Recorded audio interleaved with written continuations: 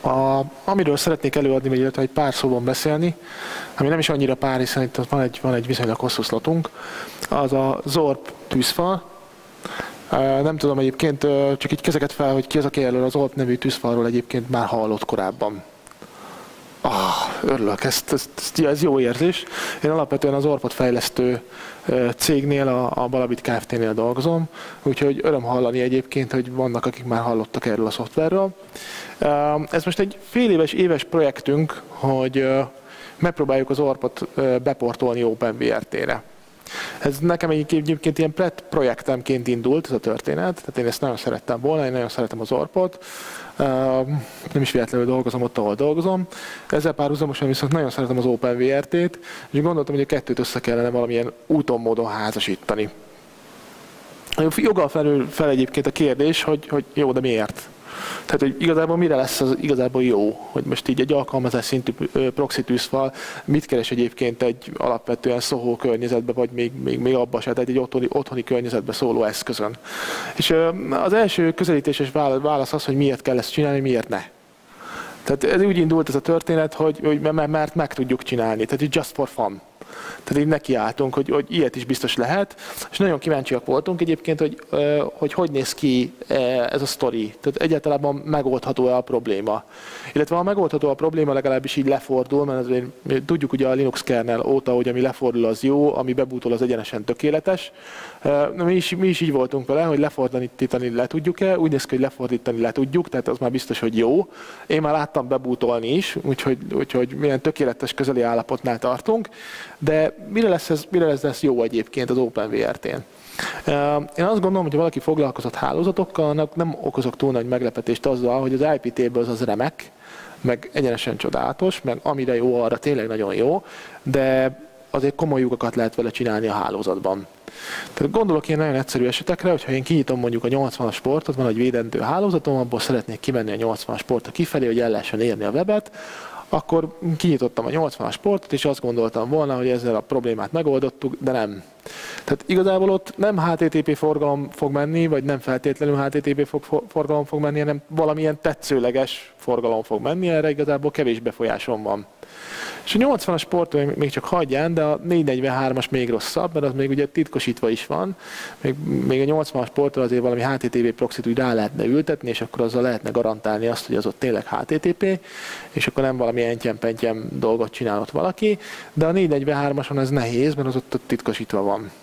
Én nem mondom, teljes joggal állítja bárki egyébként, hogy, hogy de jó, de jó, de HTTP-ben is lehet egyébként cover channel implementálni, meg van is, meg igazából a, a data leakage ellen egyébként az a világon semmire nem lesz jó, és tényleg nem lesz jó. Én csak azt gondolom, hogy egy ilyen magasabb fokú, nem is azt mondom feltétlenül, hogy biztonságot lehet elérni, egy ilyen magasabb fokú kontrollt lehet elérni, egy ilyen magasabb fokon lehet ezt az egész hálózati környezetünket vizsgálni. Akár egy otthoni környezetet, akár egy, egy szóhó környezetet. Például, hogy amiben, amire például IPT-ből nem nagyon van lehetőség, viszont Zorp esetén, mivel ez egy applikációs szintű tűzfal, nagyon egyszerűen megoldható, az az, hogy megfigyeljük, hogy, hogy tulajdonképpen a, a protokollban mi, mi, mi közlekedik. Egyáltalán az a protokoll közlekedik, amit gondoltunk, például egy HTTP, és hogy azon belül tulajdonképpen mi megy. De applikációs szinten getek, putok és mi, mi egyebek, hogy ott mi zajlik. Milyen szempontból lehet ez fontos? Manapság ugye, mert akár az otthoni hálózatban is egyébként viszonylag sok eszköz tud lenni, még ha azt gondolnánk, hogy, hogy nem is, hogy van két laptop, vagy nem tudom, desktop, vagy akármi, de nem, mert tulajdonképpen ott van az okos tévé. És az marha jókat tud egyébként kifelé beszélgetni, és itt tök érdekes kérdés, már akinek van némi paranoiája ehhez, hogy tulajdonképpen mit is beszél az bele az internetbe. Szól-e haza? maga a készülék a gyártóhoz? Ha igen, akkor mit mond? Tehát, hogy tulajdonképpen mi történik? Azon ott van például egy, egy NAS eszköz, éppen a cégnél beszélgettem az egyik kollégával, hogy kiderült, hogy az ő NAS készüléke az, az így erősen hazabeszél. És ő így meg volt ezen ijedve, hogy ez nagyon jó, hát nyilván ő a NAS-on csak és kizárólag tiszta forrásból származó és jogtiszta elemeket tárol, ez természetes, de, de, de mégis gondolta, hogy esetleg valami rosszat mond mégis az a NAS valahova kifelé és akkor egyszer csak jönnek, hogy akkor kopogtatnak, hogy nem jó. És uh, csak így felmerült benne, hogy tulajdonképpen mit csinálni. Én meg mondtam neki, hogy figyelj, tegyél fel egy OpenVRT-t, tegyél rá egy Zorpot, és akkor nézd meg, hogy tulajdonképpen mit beszél az az eszköz. Um, igazából mondom, az, az OpenVRT azért nagyon, nagyon kiszenfekvő megoldás ezen a területen, mármint az otthoni meg a szóló területen, mert otthon egyébként manapság már mindenkinek van routere.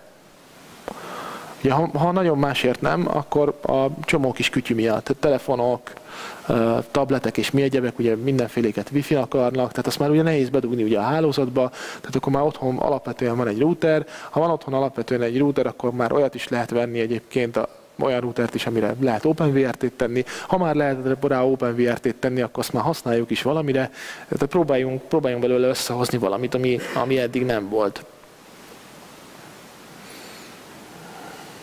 Kiknek szálljuk, hogy mi, mi, mit, mit gondolunk arra, hogy mire lesz ez jó, vagy kik lesz ez jó. Így azt gondolom, hogy alapvetően geekeknek.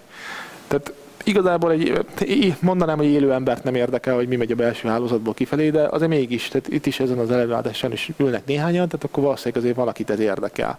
Most az OpenVRT ilyen szempontból nagyon jó célközönség, mert ott mind a fejlesztők, mind a felhasználók olyanok, hogy, hogy úgy valamit akartak kezdeni az az eszközzel, amit vettek. Mert aki nem akar vele semmit csinálni, az ott a gyári firmware, bekattintatja azt a kettő dolgot, amit szeretne, elindítja, működik, és nem törődik vele. Aki arra szánta el magát, vagy ha úgy tetszik, arra vetemedett, hogy feltegyen egy OpenVRT-t, az tulajdonképpen akar vele valamit csinálni. Na, akár tenni rá egy VPN-t, vagy, vagy bármit. Tehát így úgy gondolta, hogy abból még ki lehet többet hozni, mint ami a gyári firmware benne van. Úgyhogy kifejezetten ez a, ez a, ez a környezet az, aki, akiknek ezt az egész történetet szánjuk. Akik értenek hozzá, szeretnek az ilyen típusú hálózati dolgokkal játszani, szeretnek vele bütykölni, szeretnének valami többet kihozni benne, belőle, mint ami alapvetően első ránézésre benne van. A másik történet, hogy akik éreznek magukban némi indítatást így hálózatbiztonság kategóriakörben, azoknak szintén szintén jó lehet. Én magam egyébként igyekszem hinni a privacy-ben, bár most már ez leginkább csak hit. Tehát mindenki, aki elkezdett Google-t használni, és Google accountja van, az valószínűleg letett arról, hogy a privacy az, az így 100%-ban az övé legyen.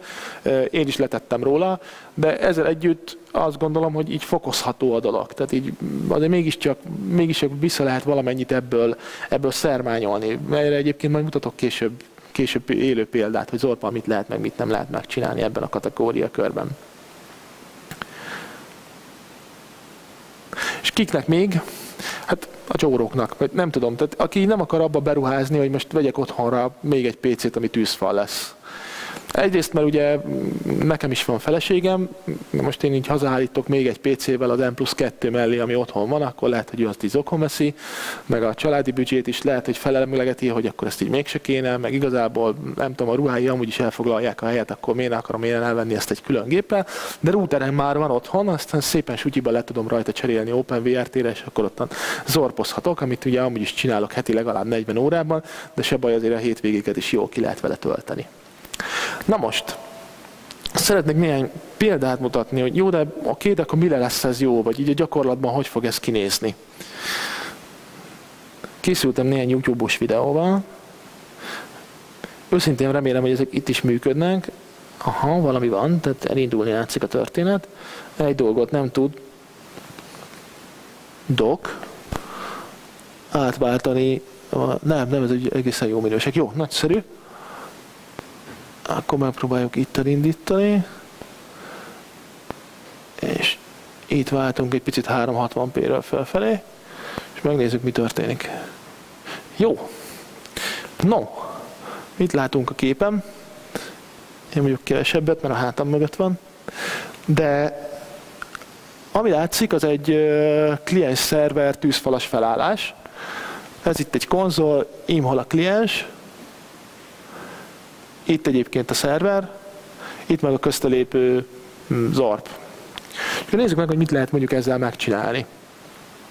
Tegyük fel, hogy ugye mondjuk a, a szerver az a széles internetben leledzik, a kliens az valami otthoni gépünk, és akkor nyilván a kettő között lévő tűzfal az meg most ugye az OpenVRT-n fut. Na most, Ha klienssel neki megyünk a, a, a szervernek, csak úgy, csak úgy alalatúr, akkor látszik, hogy mi ezt így egy V3M-mel próbálgattuk nézegetni. Most egy kicsit tovább haladunk, és így ténylegesen zorpon megyünk keresztül, ez így nagyjából talán ebből a hossznévből így látszani fog, akkor lehet olyat csinálni, hogy bár ide V3M volt írva, az látszott ott a parancsból, itt mégis egyébként eh, user agentként uh, links jelt, vagy az előzőben lehet, hogy links volt, egy fél pillanat türelmet kérek. Ah, akkor az előző az még links volt, tehát először volt egy V3M-es, indulás, aztán egy linkses indulás, és utána volt egy újra egy V3M-es, amitől mégis azt hiszi, hogy My User Agent. Most mi ebben a nagy uh, true ez csak egy példa arra egyébként, hogy az ORP képes nem csak arra, hogy, hogy a protokollt ellenőrizze, meg nem csak arra egyébként, hogy azt akár ki is logolja, hanem arra is, hogy, hogy bele tudjon írni. Egy fél pillanat, és visszavarázslom a, a képernyőt. Parancsolsz? Igen, csak én hátrafelé nézek, és az valahogy úgy nehezebben megy az egér kurzor koordinálása mindeközben, és most már ráadásul el is vesztettem, hogy hol van. Az egyszer, kétszer, és akkor megpróbálok a pauzig visszatalálni időben, és azt a... Nagyon jó. Szóval, Szóval az ORP egy applikációs szintű tűzfal, így layer 7 szinten lehet vele vackolni. Most ez itt abban mutatkozik meg, hogy a harmadik próbálkozásra átütöttük a HTTP protokollban a, a user agent mezőt. Na most ez egy kicsit technikailag hangzik, és, és az is, de gyakorlatban ugye az azt jelenti, hogy minden browser elküldi magáról, hogy ő micsoda. Bizonyos mértékig egyébként ez is része a privacy-nek, hogy eláruljak el, hogy milyen browsert használunk. Aztán persze vannak ennek technikai oldala is, hogyha a túloldalon tudják egyébként, hogy milyen browsert használunk, akkor annak a sebezhetőségeit ezt visszafele ugye ki lehet használni. Na most a, a Zorpa megoldhatjuk ezt egyébként a saját hálózatunkban, hogy valamit oda hazudunk. Tehát megmondjuk, hogy ez egy, ez egy My Agent, vagy akármi más. Most nyilván ez még ez még önmagában nem olyan nagy veszedelem, tehát nem biztos, hogy ettől mindenki így ingerületbe jön, és úgy érzi, hogy fel, felettébb zorpot kellene telepíteni még ma délután, miután hazaért. Ám de van még néhány ilyen apróság a, HTTP-ben, amit viszonylag könnyen meg lehet oldani. Van, vannak kifejezetten olyan a mezők, amik egyébként az ember trészelésére szolgálnak, hogy nyomon lehessen követni azt, hogy, hogy tulajdonképpen hol is kattogtad az ember. Van például a, a, egy olyan része egyébként a HTTP-nek, aminél egyébként kérik a, a browsert, a klienst, hogyha valahol kattintunk, akkor legyen kedves néhány szervert arról érdesíteni egyébként, hogy mi oda kattintottunk. Hát nem tudom, hogy én azt akarom-e vagy nem akarom, én speciál nem nagyon akarom, viszonylag ki lehet, könnyedén ki lehet egyébként szűrni zorból. Mit tudunk még? Ugye ez egy kopasz HTTP, tehát ez azért manapság viszonylag ritkás. Egyre erősebb az, hogy ugye majdnem minden HTTPS sem megy.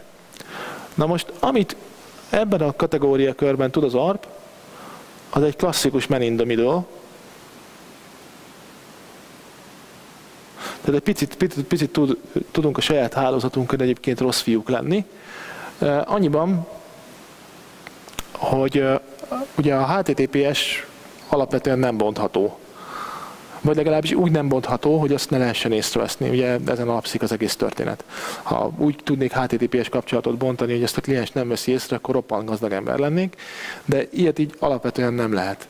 Amit viszont meg lehet tenni, hogyha én tudom konkrétan egyébként, hogy, hogy meg akarom bontani ezt a HTTPS kapcsolatot, akkor lehet olyat csinálni, hogy a klienseknek elmagyarázom, hogy amit ők certifikétet fognak kapni, az rendben van. Tehát tudom, tudok importálni egyébként a kliensbe egy olyan célt, amire azt mondom, hogy ez megbízható, és az ORT meg, megteszi azt nekem, hogy minden e, kapcsolatot úgy épít ki, hogy azzal a céljával aláírt certifikétet mutat a kliens felé, így aztán a, a kliensben egyébként nem nagyon ugrál fel az az ablak, hogy neki ez a certifikét nem tetszik, Szóval ez így megnyugtató lesz a, felhasználók számára, azok nem feltétlenül csak mi vagyunk, hanem a család, vagy nem tudom, egy kisebb céges környezetben bárki más. Szóval ezt így el lehet kerülni, ellenben bele lehet nézni egyébként HTTPS kapcsolatba is. Persze ennek megvannak a, megvannak a maga árnyoldalai. Én nem gondolom azt egyébként, hogy egy céges, akár egy céges környezetben is okos ötlet volna például egy internetbankos HTTPS kapcsolatot megnyitni, és így érdeklődni az iránt egyébként, hogy mondjuk az internetbanknak van kinek mi a, a jelszava. De vannak olyan esetek egyébként, amikor, amikor ez érdekes lehet. Folytattunk most egyébként egy kísérletet a cégen belül, közben így magyarázom, hogy nagyjából mi történik.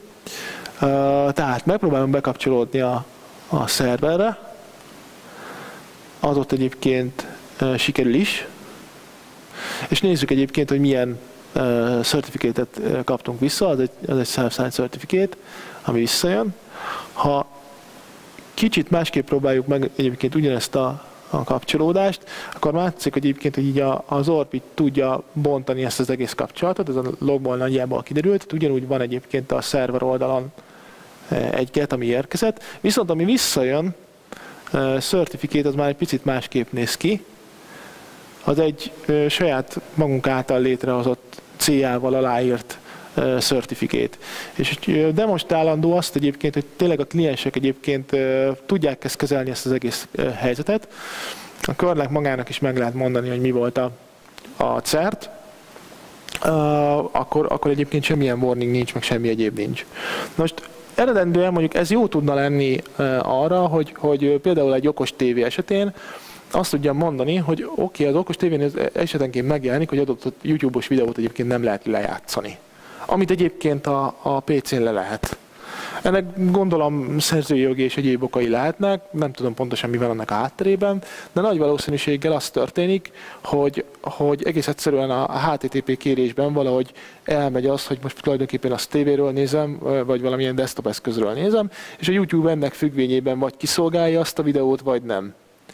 És akkor meg lehetne azt csinálni, hiába HTTPS a történet, hogy, hogy én azt mondom, hogy kicsit meghamisítom a forgalmat, és mindig azt állítom, hogy desktop gépről nézem, és akkor a tévében is tudok bármit nézni, és nem tudja azt a YouTube megtagadni. Na ez volt az első körös gondolat. Aztán visszaellenőriztük ezt a gondolatot, hogy ez tényleg valós-e, és kiderült, hogy nem.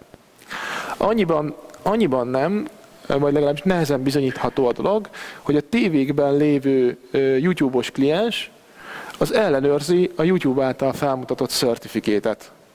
És innentől kezdve nem lehet megbontani a kapcsolatot. Hogy ez a YouTube-értnak egyébként miért jó, vagy miért így csinálják, ez egy, ez egy nagyon jó kérdés, de tény mi tény, mi tény hogy YouTube-os kapcsolatot így és ebben a formában egyébként nem lehet bontani. Desktopon ugye más a történet, mert ott böngészővel megyünk, tehát a böngészőt egész jól meg lehet nyugtatni, hogy de itt van ez a CA, és akkor tessék megnyugodni, de, de a tévékben lévő applikációk azok, azok nem ilyenek. Tehát ott nincs egy, a tévében nem igazán van PKI, és nem igazán tudom azt mondani, hogy itt van egy CA certificate, és ami ezzel van aláírva, az jó lesz. Ott a, ott a YouTube-os kliens egész egyszerűen azt mondja, hogy ő nem azt a certifikétet látja, amit szeretne, ami a YouTube-hoz tartozik, az oda be van égetve, és egész egyszerűen megáll. Pont vége, és onnantól nincsen videózás. Tehát erre úgy néz ki, hogy nem lesz jó.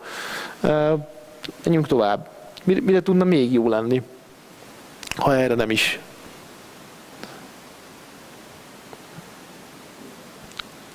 Ez egy újabb gondolatkísérlet volt elsőre a cégem belül, hogy lehetne olyat csinálni, hogy van egy cloudos szolgáltatás, mondjuk a Google kalendár, és hogy nem lehetne azt csinálni, hogy van egy OpenVRT-s router, és amit a, a mondjuk ezt itt Thunderbird-el fogom használni ez a videón, ha Thunderbird-el amit elküld a kalendár eventet a Google felé, azt odafelé eltitkosítom, tehát a Google szerverein egyébként titkosítva lesz, és mikor visszafelé jön onnét az adat, akkor meg dekriptálom. És a saját gépemen nézve ez egy mindig titkosítatlannak tűnik, viszont a Google szervereim mindig titkosítva van. És ez az, amit mondtam, hogy picit vissza tudunk szerezni a, a, a saját privacy-ből valamennyit. És akkor ez így felmerült, hogy ezt meg lehet -e csinálni, és akkor elkezdtünk vele foglalkozni. Nézzük meg, mi lett az eredmény. Egyszer itt egy kat. Kicsit legyen élesebb a történet. 7 plusz P. Nagyon jó. No, próbálunk itt felvenni egy eventet. Nem, nem túl bonyolultat, lesznek egy titléje, meg egy locationje. meg egy description. Igazából ez az, ami ugye szenzitív adatnak számít, hogy én tulajdonképpen mit fogok csinálni, hol, és annak mi a részletei. Ezt nem biztos, hogy a Google órára szeretném kötni. Na most persze az, hogy mikor csinálom, az is szenzitív adat, csak hogyha azt is el akarom titkosítani, akkor az egész történet lesz okafogyott, hiszen akkor nem fogja tudni a kalendárt kezelni a Google, ha a, a maga az időpont titkosítva van, mert akkor, akkor pontosan hogy is leszünk egymással. Na most, ha webben nézem meg ugyanezt, amúgy, egy sima browserre, akkor egyébként ez látszik, hogy ez egy enkriptált dolog, ezt most csak így elétettük a példa kedvéért, és ilyen mindenféle krikszkrakszok jelennek meg. Na most így demonstratíve itt alul látszik, hogy ez a krikszkraksz nem teljesen hülyeség, hanem van ennek némi köze egyébként ahhoz, amit mi eredetileg beírtunk. Tehát, hogyha Base 64-jel dekódoljuk, akkor visszajött az, hogy ez volt az eventnek a titléje.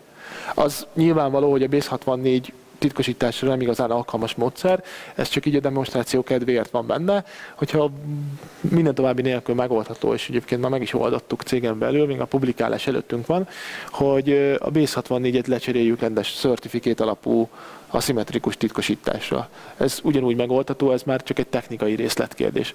Az látszik, hogy egyébként a további részleteket is, hogyha ide beillesztjük, akkor szépen visszajönnek az eredeti adatok. Tehát mindaddig, amíg a Thunderbirdből néztük ezt a, a történetet, addig remek jól működött, és remek jól működik. Amikor webről nézzük ugyanezt, akkor nem megy. Most egyébként a webet is meg lehetne oldani, tehát itt jön újra megint a HTTPS, hogyha a HTTPS-be állunk bele, abba a forgalomba, akkor ugyanúgy egyébként meg tudjuk ezt az egyik oldalra titkosítás, másik oldalon dekriptálás játékot játszani, csak ezt egyelőre még nem csináltuk meg. Ott az persze egy picit macerásabb, azt meg kell jegyezni, mert a, a a Google kalendárral, a Thunderbird és az összes többi ilyen kliens API-n keresztül beszél, az API az definiált, amúgy nem túl bonyolult, és azt az API-t nem is nagyon törik el a Google-nél. Tehát arra lehet számítani, hogy pontosan mi fog menni. Egész egyszerűen csak meg kell keresni benne a, a szenzitívnek számító adatokat, azokat titkosítani, és akkor visszafele meg dekriptálni, és ennyi az egész. Ellenben webem az problémás a történet, mert ott tulajdonképpen a szerver oldalt is a Google adja, meg a kliens oldalt is a Google adja.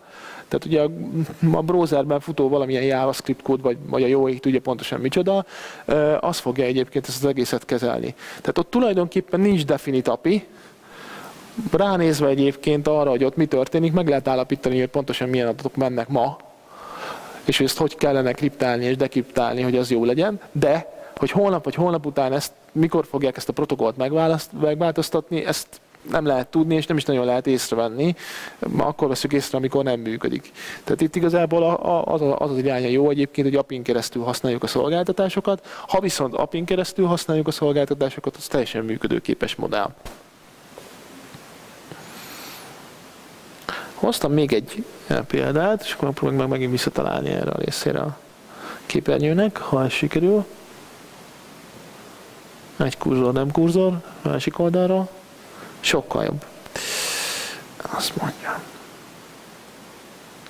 Ugye manapság nagyon divatos buzzword ez az Internet of Things. Uh, ugye gyakorlatban igaz az, hogy ma már egyébként így a home automation keretében mindenféle jópofa eszközöket lehet kapni. Én magam még nem jutottam a fejlettség azon fokára egyébként, hogy ezekre beruházzak, de, de szándékomban áll. Tehát ugye ma már lehet olyat, olyan eszközöket kapni, amit internetről lehet vezérelni, és akkor tudom otthon mondjuk a, a fűtést szabályozni, vagy a hűtést szabályozni, vagy a riasztót állítgatni, vagy nem tudom, a garázsajtót nyitogatni, és mindezt interneten keresztül. Na most, itt a gyártók általában sok mindenre gondolnak, a biztonságra például kevésbé. És képesek azt elvárni az embertől, hogy, hogy ha én ugye ezt a szolgáltatást, vagy ezt a ezt a, a remek kis eszközt egyébként szeretném távolról vezérelni, akár egy, akár egy mobiltelefonos ö, applikáció segítségével, akár browserből, vagy akár akárhogy, akkor mit mond nekem ugye a gyártó, hogy én azt tegyem ki HTTP-n az internetre. Aha, értem. És akkor mondják, hogy de hát, de hát van autentikáció, hát felhasználó név meg jelszó. De hogy így ember HTTP-n. Tehát minden titkosítás nélkül. Tehát csak úgy dur bele, puf neki. Tehát így, így bármely közbelső ponton ilyen remek jól meg lehet nézni azt HTTP-ben, hogy pontosan mi volt a felhasználó név és a jelszó, és akkor legközelebb valaki más lép be az én nevemben. Na most mindaddig, amíg ugye a fűtésről van szó, hát mondjuk maximum kicsit meleg lesz, mikor ott, ott hazaérek, vagy kicsit hideg lesz, mikor hazaérek. Mondjuk nyilván ez a fűtésszámlán amúgy meg tud mutatkozni, de nem biztos, hogy ez szerencsés, hogy valaki átveszi a, a fűtés kezelését az otthonomban. Ez sem biztos, hogy szerencsés, de azt talán még rosszabb egyébként, hogyha valaki a riasztót veszi át az én otthonomban. Tehát ha én tudom vezérelni a riasztót, és ezt egy HTTP-n kikötöm az internetbe, és mondjuk ott sikerül korruptálni a helyzetet, akkor más is tudja vezérelni a riasztót. Na ez már nem tűnik olyan nagyon jó ötletnek. Na most mit lehet, mit lehet ennek érdekében tenni uh, Zorpa, hogy ez ne így legyen?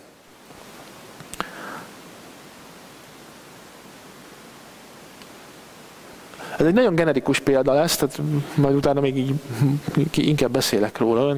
Menet közben annyi látszik, hogy itt ez esetben ugye most a kliens az internetben van, a szerver meg ugye valahol otthon, a belső hálózatunkban. De most ha ezt mondjuk az internet felől megpróbálom, ez meg ugye nyilván a tűzfal még mindig, ha megpróbálom ezt elérni, csak úgy magában, tehát megpróbálom azt a, a HTTPS portot megnyitni, ugye HTTP-n kéne kikötni, de itt most pont az a lényeg, hogy kössük ki HTTPS-sen valahogy. És ugye elsőre megpróbáljuk azt a HTTPS portot megnyitni, és ez így sikertelen, és a szerveren nem is látszik semmi, ellenben az orpon látszik, hogy az elutasította a kapcsolatot. Miért utasította el a kapcsolatot? Azért, mert úgy van beállítva, hogy csak adott ö, kliens voltali certifikétet fogadjon el. Tehát ha most itt a klienssel úgy megyünk, hogy megadjuk azt a kliens oldali certifikétet, ami egyébként be van állítva az orpont, hogy azzal és csak azzal lehessen bejönni, akkor állítom egyébként, hogy valamilyen jobb eredményre fogunk jutni. Ugye a szerény gépelési képességeim azok megmutatkoznak itt a videóban, de rögvest elérünk a végére. Három és mondom három és igen. Akkor egyrészt megjelenik egy nyilván egy Móriczka weboldal, ami most pusztán a példa kedvéért van. Itt látszik, hogy a szerver oldalon egyébként itt a, a, a 80-as portra mentünk. Tehát a szerver oldalon már 80-as portról beszélünk. Visszahozom ezt a, a videót, és akkor a legvégén még tudok egy picit mondani. Nézzük itt. És próbáljam megtalálni a pause gombot. Elég gyorsan. Nagyon jó. Tehát, akkor mit, mi történt itt? Ugye az eredeti felállás az, hogy azt mondja a gyártó, hogy én az ilyen home automation eszközömet tegyem ki a 80-as portról, és azon keresztül el fogom érni HTTP-n. Na, én ezt nagyon nem akarom, mert ugye az internetben nem szeretném, hogy azt a titkosítás nélkül közlekedjen. Akkor mit kellene csinálni? Azt kellene valahogy elérni, hogy a a mobil applikációm, vagy a browser és a, az otthoni hálózatom között az interneten, ott titkosítva menjenek az adatok, ám de a routerem után ott muszáj HTTP-t beszélni, mert a HTTPS-t egész egyszerűen ezek a home automation eszközök nem értik meg. Tehát nem, konkrétan nem tudnak titkosítani, nem támogatják a HTTPS-t. És akkor itt ezt, ezt a kettőt valahogy így össze kellene hozni. Na most az Orban van egyébként ilyen lehetőség. Ő tud olyat, hogy egyik oldalon titkosított csatornán beszél, a másik oldalon, a tűzfal másik oldalán meg titkosítatlan csatornán beszél.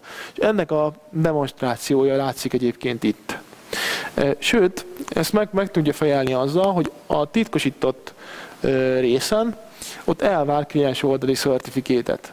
És ez a gyakorlatban milyen haszonnal jár, hogy fogjuk magunkat, hogyha elég geekek vagyunk, vagy találunk egy elég jó leírást az internetben, akkor csinálunk egy CL certifikétet, azzal aláírjunk egy kutyaközönséges certifikétet, és azt Egyébként már akár az Androidba is minden további nélkül be tudjuk tenni a Certificate Store-ba, és ugyanúgy egyébként Firefox vagy Google Chrome vagy bármi esetén, más esetén is egyébként be tudjuk importálni ezt a certifikétet, és azt mondjuk a, a browserünknek, meg azt mondjuk a mobil applikációnak, hogy ezt a certifikétet kellene felmutatni, hogyha a saját routerünk felé megyünk. Ha ő ezt felmutatja, ugye elvileg ez a certifikét másnál nincs meg, csak nálunk, Nyilván ez, a, ez a illik vigyázni, hogy ez ne is kerüljön el senki máshoz, de hogyha ez csak nálunk van meg, akkor tulajdonképpen a routerünk csak minket fog beengedni, és senki mást. És hogyha beengedett, még akkor is titkosított egyébként a csatorna, mármint az internet oldalon, és a másik oldalon meg megy a sima HTTP, tehát ezeket az eszközöket, amiket így ma már fillérekért lehet gyakorlatilag kapni, viszonylag biztonságosan tudjuk használni. Most ez csak néhány ízelítő példa, de gyakorlatilag ebből már szerintem így érezhető, hogy viszonylag sok mindent meg lehet csinálni, csak ötletek kellenek hozzá, meg kell azért kétség kívül egyébként geeknek lenni, meg kell érteni valamennyire a hálózatokhoz, meg, meg kell affinitásnak lenni abban az irányba, hogy az ember gondolkozzon azon, hogy ebből mit lehet kihozni. Ezek, ez csak néhány példa arra, hogy miket lehet kihozni. Remélem, hogy kaptatok kedvet ahhoz, hogy ezzel elkezdjetek játszani. Remélem, hogy tudunk ebben segíteni, hogyha bármi kérdés van egyébként így elérhetőek vagyunk. Így Zord GPL vonalon van levelező lista, meg Facebook csoport, meg minden, ami, minden, ami úgy lenni szokott, meg Google Plus, meg kis kutyafüle. Szóval ezeken elérhetőek vagyunk egyrésztről. Másrésztről meg dolgozunk rajta, hogy az OpenVRT port az ne csak úgy nézzen ki, hogy nálam lefordult, Ma már egyébként nem csak nálam fordul le, hanem most már fordul másnál is. GitHubon egyébként megtalálhatóak természetesen a források, tehát ha valaki nagyon kemény, mint a Vidia, akkor neki ugorhat és fordíthat egyébként OpenVRT-t olyat, amin, amin van Zorp. Ha valaki kevésbé érzi az affinitást magában, hogy ezt megtegye, azok kedvéért egyébként igyekszünk elérni azt, hogy az OpenVRT ben officially legyen ZORP csomag, tehát le, lehessen olyat csinálni, hogy OPKG insta ZORP, és akkor az felmegy, és akkor utána már lehet vele nagyon jókat játszódni. Most per pillanat ezen dolgozunk, nyilván ez nem egy kétnapos mutatvány, de igyekszünk, hogy, hogy, hogy ezt el tudjuk, el tudjuk érni, és akkor viszonylag, viszonylag széles körben ezt utána lehet promótálni. Azt gondolom egyébként, hogy a forráskódból való fordítás az így sokaknál akadályt jelent teljes joggal. nem, nem hiszem, hogy ez volna a jó út, de hogyha már csak egy egy OPKG installt kell mondani, az azért viszonylag könny, könnyű azoknak, akik egyébként az OpenVRT-vel nyilván meg vannak valamelyest barátkozva. És nyilván a távlati tervek között szerepel, hogy ezt valahogy így integrálni kellene a, a grafikus felhasználói felülettel is. Erre mondjuk nem tennék ígéretet, hogy ez mikor történik meg. Nem is hiszem, hogy okos ötlet volna mondjuk addig egy lábon állnom. Valószínűleg egy hosszabb távú projekt. Mondom, nekem pet projektem, tehát én szeretném, ha lenne ilyen, szeretném, hogyha ez haladna tovább, és szeretném egyébként, hogyha grafikus felületen keresztül is lehet, hogy lehet valahogy ezzel játszani. Ez még a jövő zenéje, meglátjuk. Szóval ennyit tudtam hozni most ízelítőbe. Ha bármi kérdés van, akkor akár most, akár egyébként itt az előadás után tegyétek fel, megtaláltok. Kérdés? Parancsolj!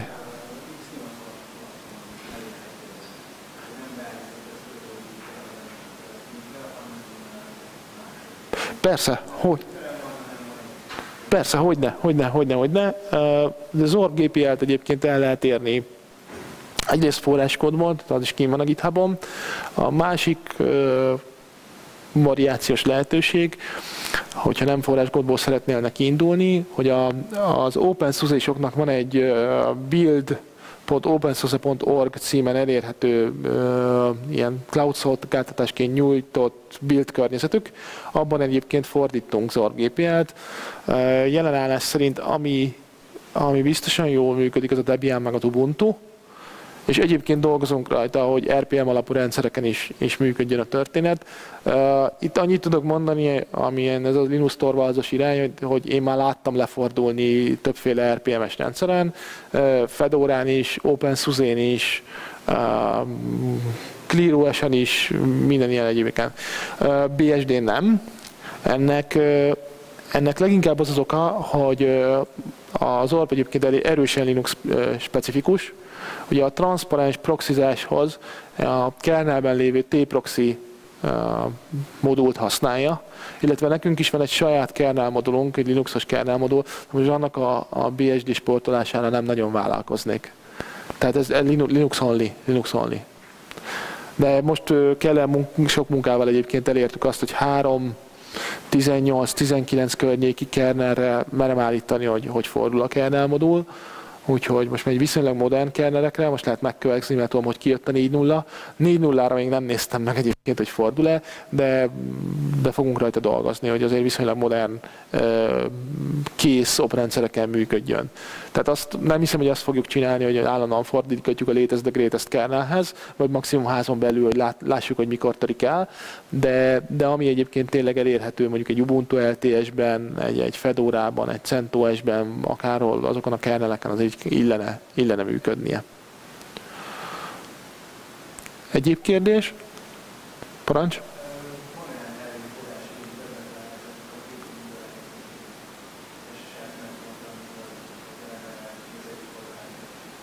Uh-huh.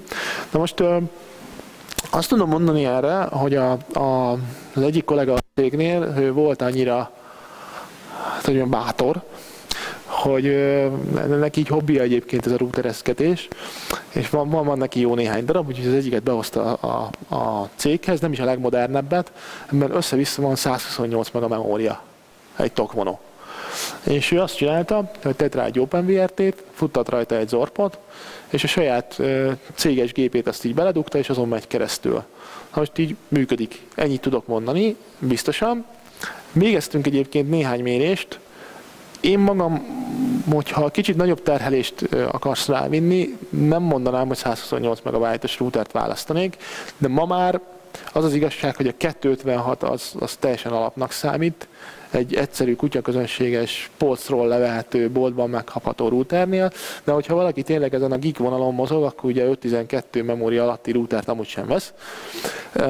Szóval memóriában lehet egy picit szűknek lenni, processzorban, meg mostanában ugye már az armok nagyon hasítanak, ilyen, most már ilyen 800 környéki, meg még följebb lévő megahertz számú uh, procikat tesznek bele egyszerű routerekbe, szóval elviszi. Csináltunk egyébként méréseket, az ORT maga úgy működik egyébként, hogy alapvetően háromféle módon lehet átvinni kapcsolatot. Van egy olyan verzió, ami nagyon-nagyon hasonlít a paketfilterre, gyakorlatilag ugyanaz. Tehát így is tudsz átvinni, ennek a ennek az erőforrás igénye a paketfilter erőforrás igényével közel azonos, tehát ott nincs gond. Akkor van egy olyan módszer egyébként, hogy átviszed user space, tehát a rendes zorpon keresztül, nem végzel protokollelemzést, most ennek azért mondjuk csekély jelentősége van, mert akkor minek. Nyilván azért ennek is megvan a maga jelentősége, mert léje hétre felvittet onnantól kezdve a lejjebb lévő protokolltámadások ellen, mivel szét van választva két oldal valamennyit véd. De szoszó, és akkor van az a változat, hogy protokollelemzést is végzel. HTTP-vel el tudtunk jutni odáig, amit méregettünk, hogy hogy a manapság divatos internetes sávszélességeket azt, azt, azt, azt a 80%-ig ki tudtuk használni. De akkor minden, hogy hívják kommentát, minden egyes betű egyébként, ami HTTP-n ment, az, az a routeren ment keresztül. Most én ezt nem ajánlom ezzel együtt, ezt sem, ezt sem teljesen ajánlom. Az Zortnak egyébként a szabályrendszere lehetővé teszi azt egyébként, hogy nagyon jól meg lehet fogalmazni, hogy mit szeretnék amúgy vizsgálni. Tehát lehet olyan szabályt felvenni, minden további nélkül, hogyha a Google kalendár felé megyünk, akkor bontjuk meg az SSL-t, és titkosítsunk benne, és mit tudom én, az összes többi esetben jó lesz, ami van egy filter jellegű működés. És akkor olyan szűkre tudtad fogni a szkópot, amiben egyébként a terhelés már nem jelent gondot, akár egy OpenVRT környezetben sem. Volt ott még egy kérdés, ha jól láttam. Hát a GPL-ben ugye alapvetően ugye négy protokoll van támogatva, négyféle proxink van, illetve igazából nyolcféle proxy van, de abból négyet nem ajánlok. A négy, amit ajánlok, az a HTTP, FTP, POP3 és az SMTP. Amit nem ajánlok, az a Whois, a Finger, a és most, most még kettőt kéne gyorsan mondanom, talán a TFTP van kint meg, és van még egy negyedik is. Szóval így, de nem, nem tud, manapság nem tud gyakran használt protokollok. Viszont ami kint van, az a HTTP, FTP, POP3 és SMTP, és kint van a komplett SSL framework, tehát ezt mindegyik tudja SSL-en belül is. Vagy egyébként önmagában is összerakható egyébként egy olyan, hogy protokollelemzést amúgy nem végzünk, de azt a kliens oldali certificate ellenőrzést egyébként megcsináljuk, amit, amit egyébként az egyik példán mutattam. Tehát ilyet, ilyet is tud.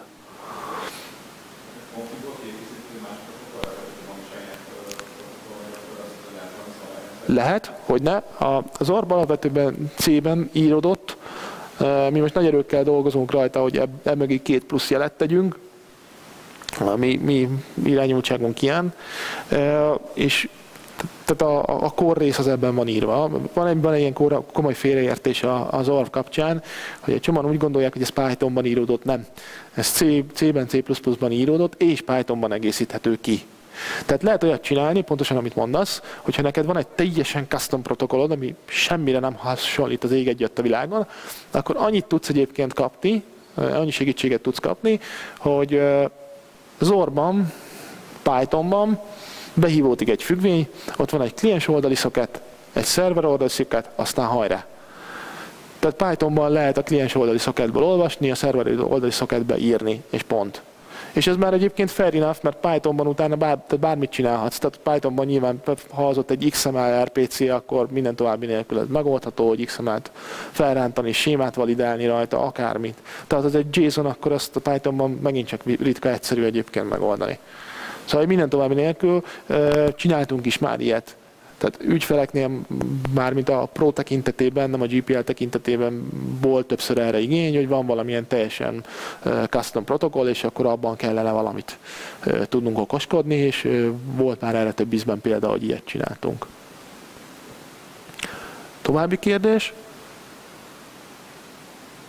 Akkor köszönöm szépen a figyelmeteket, ha bármi felmerül, akkor megkeressetek itt a konferencia hátra lévő részében. Köszönöm szépen még egyszer.